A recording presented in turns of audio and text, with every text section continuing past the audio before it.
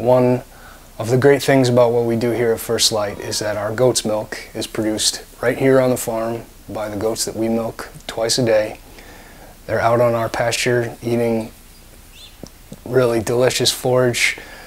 Uh, and from the time the milk is in our milking parlor to the time we turn it into cheese, it's traveled really about 50 feet. At the First Light Farm and Creamery in East Bethany, New York, the brothers Max and Tristan Sandvoss tend a herd of about a hundred Nubian and Alpine goats. Max had been a successful actor and Tristan a producer in Hollywood.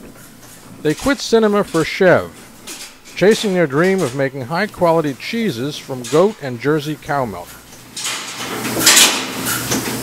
Making excellent artisanal cheese starts with pristine high quality and very fresh milk. And once you have that, you've, you've, you've done 90% of the work that's necessary. It all starts with the earth, the conditions of the soil, the climate in a particular environment, the sunshine, and the water. All those factors are nourishing the grass that feeds the goats.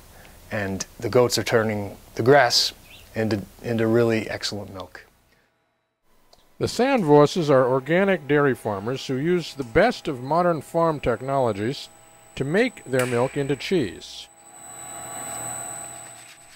They keep their work areas scrupulously clean to avoid contaminating the cheese cultures with unwanted bacteria. We have excellent equipment. We have a pH meter that allows us to track the pH change as milk goes from its liquid form into a solid form. Um, we also can monitor and control temperature to a very high degree of precision, and that those two, those two ways are basically the fundamentals of cheese making. Here on the farm, we milk. We're milking at the moment 42, um, primarily Nubian and some Alpine dairy goats.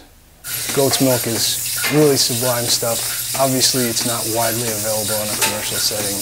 The dairy industry in the United States doesn't really include dairy goat milk.